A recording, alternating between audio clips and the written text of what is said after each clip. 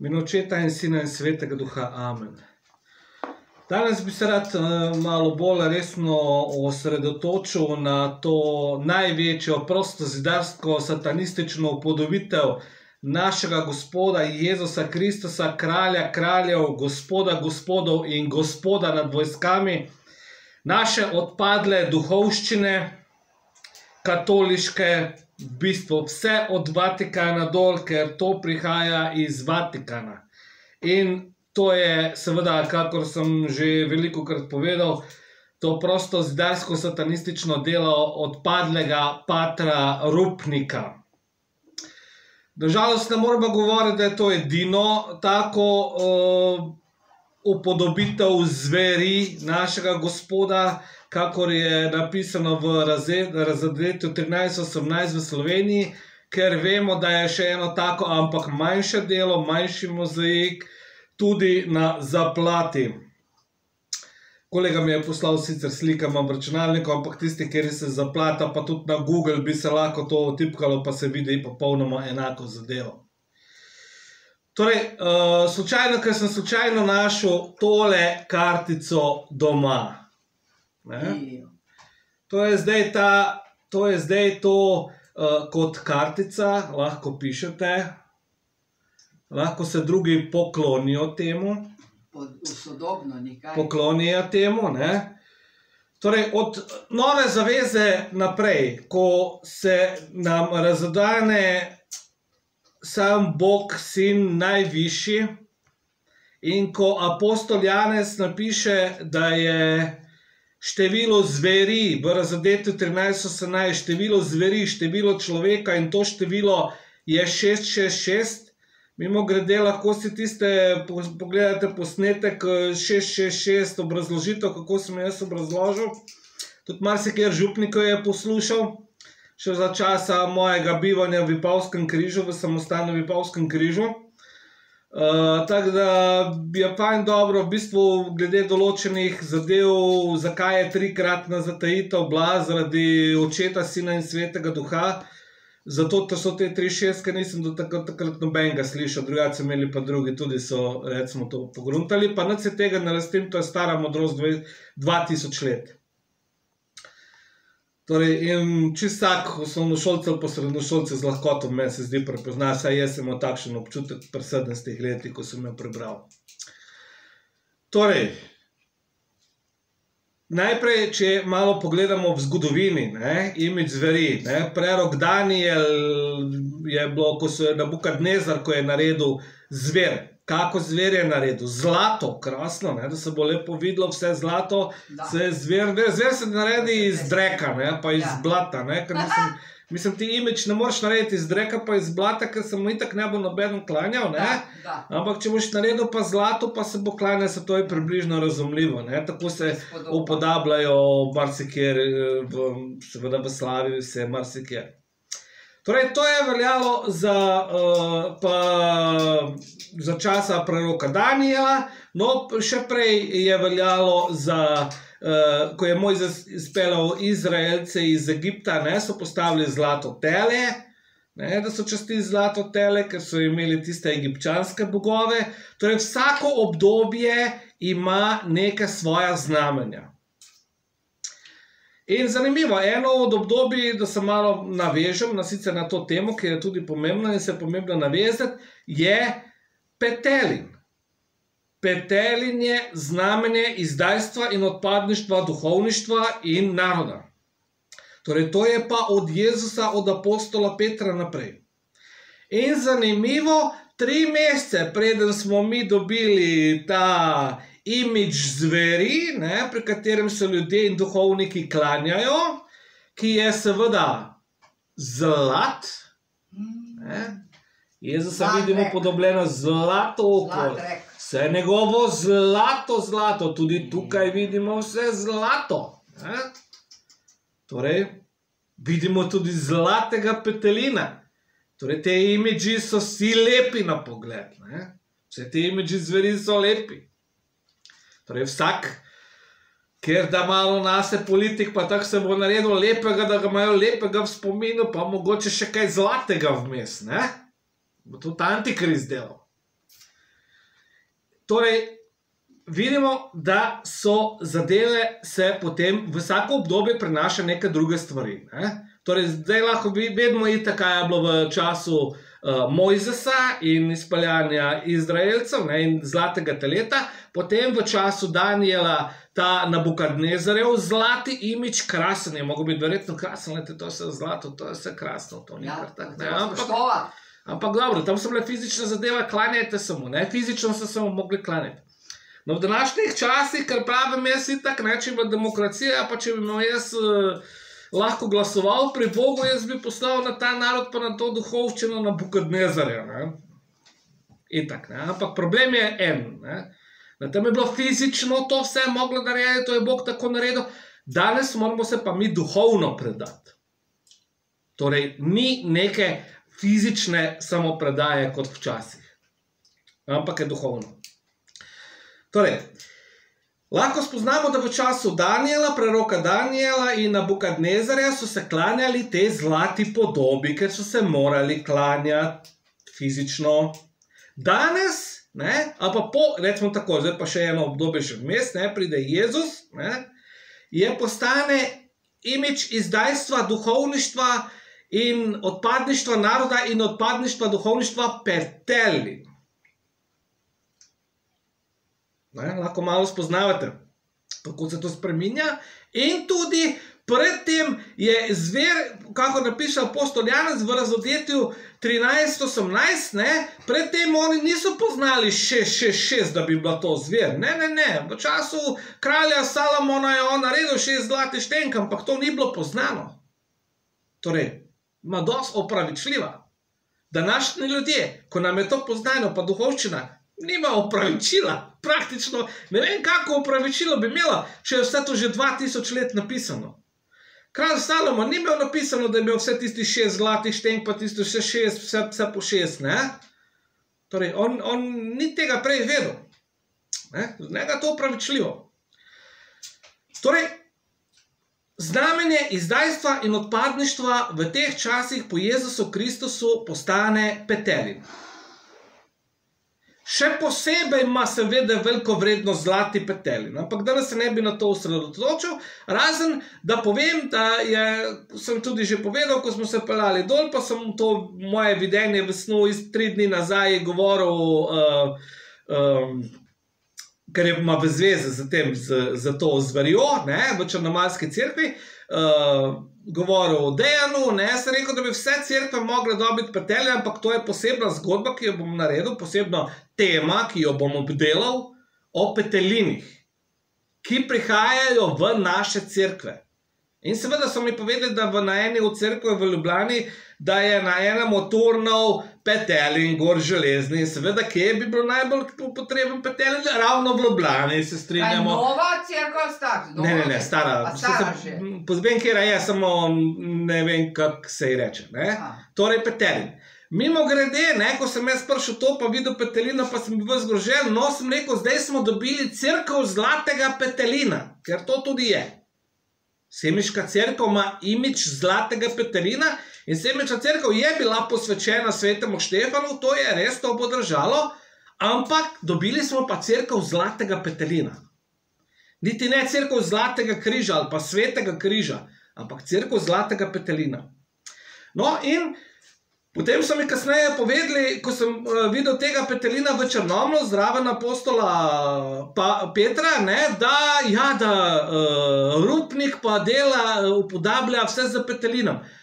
Kar je sicer zelo samoumevno, bom zdaj, ne, zgodba, da je ga upodablja apostola Petra v, pod, v času izdajstva.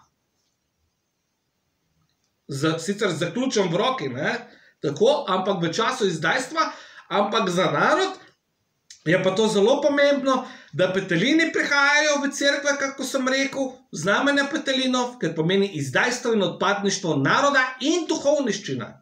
S tem, da duhovščina je itak vedno prva, Da. ki bi mogla biti vode. Pa ni, ne, seveda ne, ne, Gonilna niso oni karizmatiki, oni so recimo, recimo tako čisto svetski. Ne. Imamo, imamo, da ne bom zdaj glih ja. Ja. takoj, ne? ampak itak se ve, ne? so svetski, ne? gremo delati stene, zide, tako in tako gremo delati to. Ne? ne za dušo, pa za čas. Ne? Torej, slepci vodijo slepce, ne slepci vodijo slepce in vsi skupaj padajo v jamo. Ne? Torej, eh, da se to. Torej, zdaj lahko pol vidimo, da so te zlate podobe teh imidžov, ne, seveda čisto normalna zadeva, ker ljudje se pač ne bojo kladali ni tam dreko, da naredi. Ne. Da, Naredi zlato, pa boš videl, kaj bo. so Ne. Kaj bo, uf, to pa je. Ne. Torej, dobimo v Črnomlju, se lahko pogooglate, ne, ali pa se itak vsi veste, ne, dobimo v Črnomlju to največjo prostozidarsko satanistično delo v vseh katoliških cerkvah po celem svetu. Torej, dobimo leto, lepo zlato podobo, imič. Ne, z tem imidžom je pa tudi neka zadeva, ki je skrita in odkrita. Danes seveda je odkrita, ker sem jo jaz odkril, tako kot odkrivam marsikaj za ta narod in to duhovščino. Ne samo to, in je tudi odkrito, ker sem jaz itak že prej vedel po vseh teh angliških forumih, ne, ki, se, ki se malo na te zadeve malo več spoznamo. Da je uh, nek pater Rupnik, ki dela vse te imidže, zveri, sploh za Frančiška, se je itak že vedlo. No? Ampak kdo bi si le mislil, ko so meni rekli, ne, vrži pa pet si pa to pogledati, tako si moramo iti pogledati, vse krasno slišiš, fantastično. Ja, kaj je to bilo? Ne? Saj jaz si nisem mislil, da, da bi bil tako šokiran. Ne? Itak sem ponovadi šokiran na kaj takega. Ne? Pa smo šla pa zdaj enom si pogledati. Ne? In seveda pol šok je bil totalen. Šok je bil totalen. Če bi me kjer snemal, bi verjetno samo na prve dve, tri minute. po, pogled, pogled, pogled ti tam gor, šest, šest, šest v desni roki. Ne? Torej, lahko si kjer predstavlja približno, kako je to izgledalo. No, dobro. Torej, Ni dobro. vidimo, vidimo uh, dobro je, ker je to znamenje za ljudi. Bog pokaže znamenja. Ne, to svetopismo jasno piše, znamenja bodo. Ne. Pa, za krkno, bo. pa zakrkno bom možgane ljudi, ne. torej imajo zakrknjene možgane. Ja. Ali imate zakrknjene možgane? No, če se vrnem še malo na, na Bukatnezare, pa nazaj. Ne? Koga je poklical, da morajo priti imič gledati? Ne? Vse oblastnike, vse upravitelje, eh, vse tiste, ki so dali denar, po domače povedano, pa še Župana. narod, pa še tiste na pa župane, vse se piše, pa še tiste narod, ki je tam blizu bil. No, in kaj se dogaja? Ne? Dogaja se enaka zadeva. Ne? Te odpadla duhovščina pokliče. Seveda zdaj vse, vse te tukaj, ne, da pridejo ta imič zveri, si pogledati. Ne. In seveda on je to mogel fizično narediti ne, in se klanjati, ampak enako zdaj se dogaja tudi tukaj. Ne. Zdaj se sicer ne, ni treba uh, fizično pokloniti, ampak se vsi poklonijo fizično pred, pred zverjo, vsi pred tom. Ne. Edino jaz sem, nisem, noben, praktično ne vem, če sem koga sploh videl, koga sploh videl da bi se, uh, da bi se ne bi samo pred, pred, zverjo, pred tabernaklom poklonil, tako se da pred zverjo. Težko, težko. Da. Ne? Torej, zakaj? Zaradi tega, ker imajo itak ljudje tam navado, aha, tam je bil tabernakel, tam se zdaj bomo, mi bomo poklili, poklekali tako naravnost, ne, pred zverjo, ne, zdaj tam, ko so premaknili, čisto na stran tabernakel, ne, to ni prišlo glih še v glavo takoj ljudem. Ne. Pa tudi, eh, seveda, ne, ne zdaj vsi eh, imajo takega spoznanja, kot imam jaz, eh, tudi to, tudi to je res. No. Torej, se pridejo vsi klanjati, vsi oblastniki in vse ljudstvo in se klanjajo. Seveda imaš zdaj spet ene, tri posameznike, bo ki tako tak naredi, ne, ki se pa temu ne klanjajo, temu zverju. No, dobro, ajde. Jaz sem bil tam, pa da je pol, kaj je videl, ko sem rekel, poglej, on ni videl, sicer, ka- ka- ka- kaj je rekel, res, kaj res, ne, jo pa res, ne. Torej, da se vrnem zdaj to, ne, pa malo opišemo te zadeve. Torej, imamo zlat imič. Vidimo Jezusa lepo v zlatu, zlato krono, zlato vse.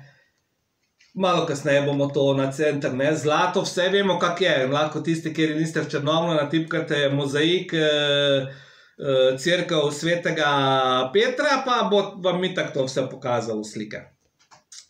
Torej, uh, dobimo, dobimo to v zlat imič.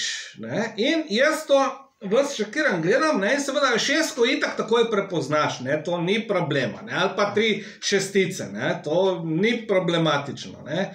Šest, šest se ve, kak je. Ne? In zdaj, od, od Jezusa Kristusa naprej do apost, od, eh, pa Janeza Krstnika, ki nam to skrivnost razda, ne, da si jo lahko tudi računamo, da ima zver razodetje 13-18. Kdor ima um, naj izračuna. Torej, kaj je potrebno? Ne, do, tako piše. Kdor ima um in modrost. Torej, kaj je potrebno? Potrebna je um, torej znanje matematike čista matematična terminologija in modrost. Aha, tukaj pa že pademo, ne? po mojih ocenah tukaj padajo pa.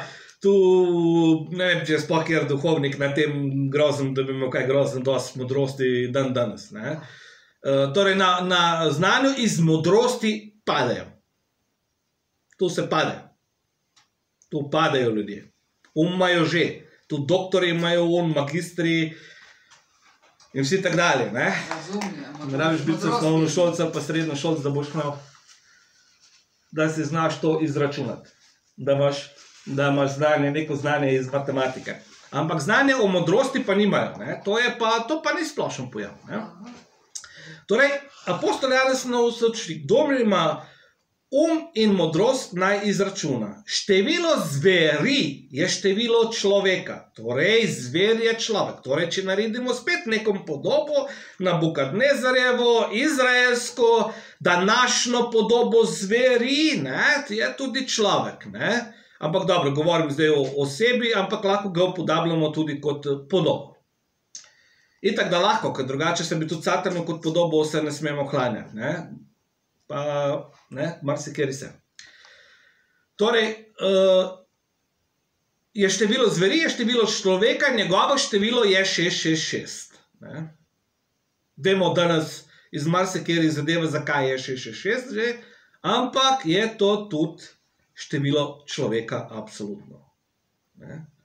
In zdaj se lahko tako tudi upodablja in se upodablja. 666, mnogi si dajo na čelo, tako, ne. 666, mnogi naredijo znamenje v tri šestice, tak, ali pa ena šestica, tak, ali pa recimo to so pa že dve, dve šestice, ne.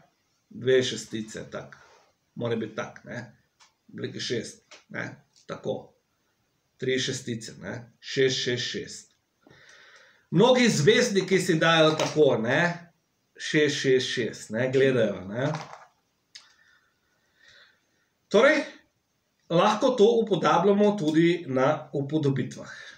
In seveda lahko spoznamo, da Jezus drži. Zdaj, zdaj pa še ena zadeva, bi se pred, še preden bi se rad vrnil. Ne? Eh, Preden bi to obrazložil, kar itak že vemo, ker že tako obrazlagam. Ampak še ena zelo pomembna zadeva.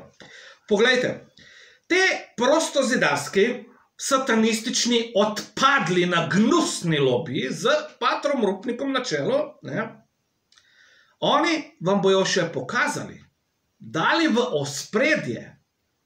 Poglejte si, dobro si poglejte. Se vi itak ne boste razumeli, ker mi itak vemo, da vi nič ne razumete, ne? Tu nismo dosti drugačni, ko, ko jaz mislim, tu, tu je dosti podobna zadeva, ne? da itak ne razumete skoraj nič, ali pa redko, kjer je kaj razume, ne? redko katere, v glavnem zelo malo ali nič. Ampak itak, in mi vam bomo zdaj še pokazali, še bolj nazorno, da ne boste vi slučajno rekli, da vam mi nismo pokazali. Ne? In kaj vidimo? Naredijo tudi vse te slike, nimam tiste velike, je tista velika, um, kaj je že, una brošurca, uh, ne, in nimam tiste velike, sem jo pa to, sem jo pa to malo sem našel ravno včeraj doma. No, in kaj naredijo? In zdaj vam poglej, oni še pokažejo, dajo v odspredje. Dobro si pogledajte, na tem imidžu zveri, na tem zlatem imidžu zveri, katerega se vi hodite klanjati in gledati, pred katerim se poklonite, mi vam damo še v odspredje, povečamo vam. Še povečamo vam prste. E, roko, dobro si jo pogledajte, povečano vam damo. Da ne boste rekli, si videla ti to, tega ti nisi vlastno, to tega ni ved, ja, vedela, ni zato nekatere stvari povedal, včasih tudi kar direkt. Dobro si jo pogledajte, mi vam to še povečamo in vi blage veze nimo- ne boste imeli, da smo Ja. vam mi to res dali. Da smo vam mi še pokazali, dodatno povečali, da boste vedeli, kaj Jezus drži v desni roki. Je pa kaj v nevednosti naredil, ali Ne, ne, nič nevednosti, to je prosto zidarski lobby, on vse tako dela, to ni nevednosti. V nevednosti je, da recimo, nevednosti je, da recimo navdihnen, kakor jaz seveda nisem razumel, naš župnik, ne, tudi Bog je hotel, da sem ga slišal, da je, da je bil navdihnen, ker če ga ne bi slišal, ne bi mogel tega reči. Rekel, le, da, bi rekel, lej, zavestno je dal, ne? Ampak dejansko Bog je hotel, da sem samo tisto slišal. Točno hotel je Bog da je bil navdihnjen. Jaz sem to slišal, jaz pa rečem. Ker če pa ne bi slišal, bi pa rekel, zavestno je naredil. Ne? Zavestno je naredil. Pa pol to ne bi bilo res. Ampak tako bi rekel, če ne bi slišal.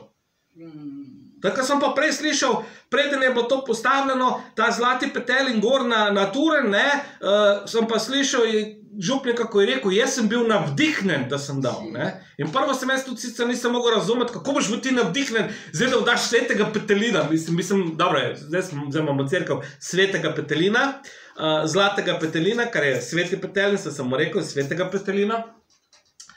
Uh, in uh, kako češ biti navdihnjen na, na tako neumnost? Ne? To je tako, da boš dal na muslimansko crkvo križ. da. Ne? Ista zadeva. Znamenje odpadništva. Kar bi bilo sicer, seveda, zopet bilo to ne, nek, nek mufti, bi bil nav- navdihnjen od Boga, ne? pa bi dal križ gor, ne? isto se strinjamo, to ni problema, to se lahko strinjamo. Ampak bi bilo pa znamenje odpadništva od, Islama. od islama. Da, od islama. Ne? Torej, povem tisto, kar sem slišal. Če ne bi slišal, bi bil to, bi, bil to, bi rekel, le, namenoma je naredil. Tako pa vem, da, da ni namenoma naredil. Torej, zdaj nam oni še pokažejo. Poglejte, dragi črnomalci, vsi oblastniki in vsi veljaki, kako iz časa proroka. Daniela nad Nabukadnezarja na boč, na mogočneži, Mogočneži. pridite se pogledat, poklonite se imidžu in mi vam bomo zdaj v spredje dali, še povečali vam bomo povečavo. Da boste vi res videli, da vam mi ne bomo, da ne boste slučajno kdaj rekli, da vam mi nismo povedali. Mi vam bomo zdaj dali še povečano. Kaj je pomembno? Kaj je pomembno? Število zveri. Torej, vidimo, da nam, da nam ta prostozidarski satanistični robi še poveča, še pokaže dodatno. Ena od zanimivosti, ne? Uh, kot pravim, vse te, kaj se je dogajalo, vse te čudeže okoli mene, pa pridem jaz dol, pa zlati petelin, in se itak ve, da bi mogel biti tukaj.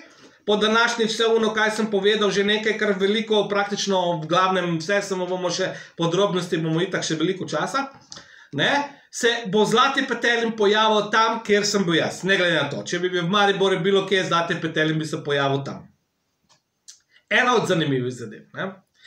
Ta prostozidarski satanistični lobby z patrom Rupnikom na čelu ne, uh, postavlja take, je postavil v zaplati tudi takšen imič. Ne. Uh, kaj sem mislil se zdaj navezati? Joj, malo mi je misel vtekla, ko sem, ko sem povedal eh, to. Aha, zdaj sem se spomnil. No, in uh, se kaj dogaja? Imajo svoj plan. Zdaj bomo pa postavili v črnomno imič zveri, pred katerim se bodo ljudje klanjali. In se da, treba priznati. Bom rekel, spet imaš eno tri, tri posameznike, dobro, jaz vem za dva, mogoče bi bil še kjer, ne? Ne prvi sem pa jaz, sedaj niti tega prvo videl, kot sem mu rekel. Ki se pa ne klanjajo temu imiču zveri. In kaj je zanimivo zadeva? Oni naredijo največjo prostozidarsko satanistično delo v Črnomlju. To je za vse črnomalce, za vse celo belo krajino, kaj boste vi zdaj naredili. Ne? Naredite, kaj čete. Ampak vse vam bo šlo od duhovnikov do vseh te cele, cele duhovščine, do celega naroda. To vam bo Bog že upošteval, karkoli boste naredili, lahko pridete pa mene vprašati, kaj se naredi v tem primeru. Ne? Torej, uh, Bog jim, ok, oni imajo svoj plan, vreden. Pa pa Bog že tako ve, dobro, dobro, vi ste že to naredili. Ne? Tri mesece predtem dobimo znamenje izdajstva in odpadništva duhovščina, čez tri mesece se pojavi to znamenje v Črnomlu. Jezus upodobljen kot zver, ne v Črnomlu. Ne? Ja. Tole znamenje. ja, Ne? Jezus upodobljen kot zver. Ne? Bog ima pa svoj plan. In ne znam, kako se misli. Ne? Se Misli, dobro, dobro, vi kar dajte. Ne? Ampak jaz sem vam pa poslal enega uroša, pa boste vi videli, pol, kaj boste. Sej vi lahko boste, ampak on vas bo razkrinkal. Jaz vas bom pa sodil. Ne? On vas bo razkrinkal, jaz vas bom, jaz bom pa sodil. Torej, ne? prosto zidari imajo svoj plan, Bog ima svoj plan. Zanimivo, ena od dveh mojih domačih crkv. Ne? To je spet zelo zanimiva zadeva, kaj vse se dogaja okoli teh domačih mojih, mojih crkvah. Ker sem bil tudi črnomalčen, celo do osnovne šole sem preživel v Črnomlu. Torej, zdaj vidimo, in da se vrnemo zdaj na najprej še ena zadeva, preden bomo še, še, še šli razšljeni naprej. Dobro si pogledajte, zdaj, torej, zdaj lahko približno vemo, kako oblazaram ne, obdobja, katero je kero znamenje zveri, ne, pa imič pa vse te zadeve. Torej, Izrael, Daniel, Jezus, Janez Krstnik in vse, kar imamo zdaj nap- naprej od, od Jezusa, apostol Petr, Petr. In vse, kar imamo zdaj naprej, vsa ta znamenja. Najprej bi rad po- povedal, da si pogledate, sicer boste si bolj na, na Googlu pogledali, ne? ampak na tem imidžu, to da se še mene malo vidi, na tem imidžu je upodobljen Jezus z črnimi očmi. Itak v, v zlatu, ne? ker zlatim imidžom se klanjajo ljudje, ne, ne, ne izreka. Ne? In ima črne oči. In dva apostola pišejo v Novi zavezi, v svetem pismu, lahko si pogledate, pogooglate na biblija.net. ne. Če je tvoje oko temačno, je pokvarjeno celo tvoje telo. Torej, kaj si dovoli ta odpadni, odpadniški pater, upnik in ta odpadniška duhovščina? Torej, vlasta ono na odgovor ne je zdaj jasen. Ne? Uh, župnik ni dal namenoma zlatega petelina, je bil navdahnjen od Boga. Ja, seveda. Vse to prostozidarsko satanistično delo je, je dolgoročno delo apostola Rupnika, ker je to vedel. In ker Vatikan hodi že od svoje mladosti, recimo, je seveda teh prostozidarskih satanističnih krogih itak zelo cenjen. Torej, oni nam naredijo, on nam naredi celo Jezusa z črnimi očmi. In kaj vidimo? Da je res, kakor piše sveto, sveto pismo, pokvarjeno je njegovo telo. Imič telesa je pokvarjen. In vidimo, kako nam pokažejo te prostozidarsko-satanistični krogi. Lete, mi vam bomo pokazali, v ospredje vam bomo pokazali, v ospredje vam bomo pokazali, komu se vi klanjate. Da se vi klanjate zveri, imidžu zveri. No in zdaj že tako, kakor vi veste, ne kakor kažem, ne boste že tako lahko spoznali, da to je pravzaprav malo teže tako rišem, ker moram malo, malo čudno uh, gledati na kamero. Ne? To je ena šestica, en prst, pol je to druga šestica, drugi prst. Ne? In pol vemo, da seveda vse ta prostozidarski satanistični lobby uporablja angliško abecedo. In X je 24 črta, ne uporablja slovenške abecede, hrvaške, ne, ne, tudi ne, pa bom rekel nekega, neke cirilice tudi ne, ne, je angliška abeceda. Pa še mimo grede, da ljudje, ko imajo svojo abecedo, oni nimajo številko, oni morajo uporabljati uh, uh, besede kot števila. Ne? In tista, ja, že znamo, nekaj imamo tudi na unih pijačah, ne, ne ta, oh, no, zdaj me pa na glavi, ajde, nema veze, ne, je znamenje šest. Pol tisto pijejo mladina, pa vse, vse te zadeve. Ne? Ker ima tudi vprašanje, kaj je vse itak noter. Ne? Torej, X je 24 črka angliške abecede. Angliščina kot svetovni jezik, ne, tudi prosto zidarski, je to to. In ker je 24 črka, je njeno število numerično 6. Mimo grede, da ne pozabim, da se vrnem na tisto nazaj, kar mi je bilo dano par dni nazaj, ko sem govoril nekaj, ko sem sem omenil takrat, če tista, tista čudežna triglav, pa tisto svetlobo, mi je bil kdaj dan, danes zjutraj sem malo razmišljal, ne? 26. četrtega? Torej, če damo zdaj spet numerično vse to skupaj, je, dobimo število 30. Ko sem rekel, da nisem vedel, kdo mi je to v možgane dal, dobesedno sem tako čutil, kot da mi je nekdo v možgane dal z te strani, ne?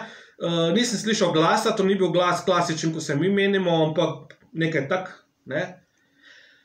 Da se vrne deset božjih zapovedi, kar me bo nedvomno zaznamovalo čisto vse moje do zdaj in naprej. Sto procentno. To sem pa prepričan. Sto procentno. Da se vrne deset božjih zapovedi. Torej, Uh, numerična vrednost je 30. Ne? 30 lahko razdelimo kot 3, pa nič. Nič v svetem pismu sama po sebi ne obstoja, 30 da, nič pa ne, ampak lahko jih razdelimo. Torej, 3 je pa sveta trojica, znamenje svete trojice. Torej, to, mi je, to spoznanje mi je bilo dano od svete trojice kot znamenje. Ne? Ni mi bilo prej tega dano, še bo o tem veliko govora, saj jaz sem o tem veliko govoril, da se vrne deset božjih zapovedi tem bo še veliko govora v moji bodočnosti, verjetno bojo tudi še kjer pol pisal, pa kaj še vse. Ne? In tako da morajo mene pa proroka doktor Hure in da da že danes to marsikaj malo bolj raziskovati. Ne? Torej, ampak da se vrnem uh, zdaj k temu. Torej, k temu in temu emoji, ki sem zdaj končal. Aha, aha 24 črka, ne, X, ne, angliška abeceda. Torej, in upodabljajo, se, če se boste spomnili, pa veliko, kar boste videli, tudi XXX, ne? Se ve, da je to v angleščini 666. Jaz sem na registraciji nekaj videla XXXY. Krško. Kaj pa to pomeni bolj? Ne vem, zdaj to. Ampak dobro, tudi registracije se nekateri dajo 666. Ja, XXX. Ja. Tudi XXX, no, tudi ja. lahko, seveda, to je 666, ampak No, Y, je pa, y pa več ne spada v to rubriko. Ja, to je pa malo po, po I, naredku. ne, ni, y, lahko je za XXX, Y je pa lahko posebej. Ampak XXX je lahko tudi tista, ki je mislil 666. Absolutno. No, Torej, eh, ne, zdaj vemo, da je X24 angliška črka ne, in prosto zidarji in vsi te uporabljajo seveda angliščino kot temeljni jezik sporazumevanja in če bo kjer anglijes pršel, bo itak vedel, ne, lažje kot slovenci in kjer drug, ne, da je to X. Zdaj, ena zadeva, ne, zdaj je to X. Torej, zdaj vidimo, zdaj lahko vidimo tale X. Dobesedno, če ga proba človek tako s prsti narediti, ti ga ne moreš tako narediti, ker si deformiraš prste. Ne?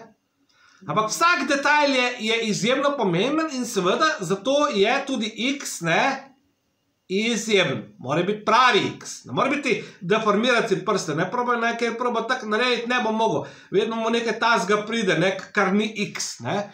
Torej je ta deformacija, pokvarjenost telesa zaradi tega, ker nam itak že pove, gledajte, črne oči. Ne. Pokvarjen ta imič, ne, je pokvarjen tudi v tem delu da to ni naravno, naravna drža, na, naravna drža X-a. Ti ne moreš narediti uh, naravno držo X-a, tako Ja. vedno imaš nekako tako zviten, Ja, ne? to ne moreš. Ja, ne moreš. Ne? Ne moreš. Torej je tudi tukaj se izpolni svetopismo. Pokvarjeno je celo v tem delu. In zato je ta X tako pomemben, da je čist popolnoma raven in čist popolnoma pokvarjen. Torej imamo dve šestice, ena šestica tvori en prst, druga šestica tvori drug prst in X.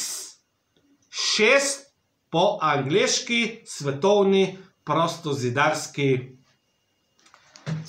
prostozidarskem številu. Torej, zdaj spoznate resnično zgodbo tega prostozidarskega satanističnega dela. Zdaj lahko tudi resnično vidite, da so nam še povečali Ne, da so vam dali še povečavo, to je zelo, zelo, zelo Najpomembno. pomembno. Da ne, da bi to oni skrili, Ja. da bi skrivali, ne. Pa da reči, jo, vse se ne vidi, ali pa ne, uraš nekaj govori, pa Da, se, ne se, se, se, se to ne vidi. vidimo ne vidi se dobro. to tako. Ne, ne, ne, ne, ne. Še povečali so vam, dobro si oglejte, pred kom se klanjate. Pred zverjo z zlato podobo, ki drži v desni roki število zveri 666. Torej, dragi črnomalci, dragi vsi katoliki, dobili smo največjo prostozidarsko satanistično delo v vseh katoliških cerkvah po celem svetu, od naše odpadle duhovščine, predstavnika Patra Rupnika, ki to duhovščino in to odpadništvo najbolj predstavlja v Sloveniji. Kakor pravim, to vemo mnogi po svetu že itak, zdaj boste pa lahko vedeli tudi vi. Kaj boste naredili s tem? Je vaš problem. Vi se lahko klanjate zveri, vi lahko to ignorirate. Lahko naredite karkoli, to bo vaš problem, to bo šlo na vašo sodbo, vse duhovščini in narodu, sploh v Črnomlju.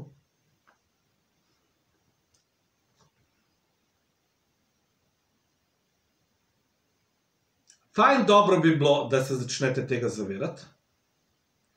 Fajn dobro bi bilo, da postavljate kako vprašanje, kakemu župniku. Fajn dobro bi bilo, seveda, da, se, da ne bo samo tako ena gospa, ko sem jo že omenil, ne. Vse lahko še kjer vprašal, ne, joj, kaj pa je to, ne, ampak uh, nisem slišal vseh, ne. Možno, da je. Da se o tem vprašam. O delih Patra Rupnika bom pa jaz imel še kar nekaj videov na to temo, pa seveda tudi v angleščini, da cel svet opozorim na njegovo delo. Svet njega že itak veliko pozna po teh njegovih demonskih upodobitvah zveri. Ni to nič novega, tisti, kjer smo v tem, kjer se na to spoznamo. Ne? Ampak eh, ne vedo pa, kaj je naredil, da je to, največjo, da je to največja upodobitev Jezusa Kristusa kot zver. Seveda, tako kot pri Nabukadnezaru, ko so veljaki dali zlato, pa vse, da se je ta imič naredil, ne, je tudi to veliko stalo. Absolutno. Tudi zlato tele pri Izraelcih, ne, je to veliko stalo, je bilo zlato. Ne. In seveda tudi ta zlati imič veliko stane. In ste dali denar za njega. Ne? Kako se vse, kako se vse, vse se dobesedno, dobesedno ponavlja. Ne? Vse, vsaka zadeva. in tudi to veliko stane, in tudi za ta imič zveri ste dali denar in bogatstvo, tako kot včasih vsi nazaj. Ali boste terjali koga za odgovornost? In kaj boste naredili, je na vas. Jaz vas sicer lahko opozarjam, lahko celo kaj pokličem na vas, ali pa na, na vse nas, kar tudi bom. Kar tudi povem, mi tako meni to ni težko. Ne? Povedati, kaj se bo zgodilo. Ampak tu je imel pa Bog svoj plan. In mene, kot dejansko v domači cerkvi, mi en odpadniški patrnupnik naredi misel, da bo to skrito. Ja. To je pa božji plan bil. Zdaj imate v ospredju jasno pokazano, Poudarjam. jasno povečano in poudarjeno. Dobro si pogledajte, dobro si pogledajte, da ne boste rekli, da vam nismo pokazali.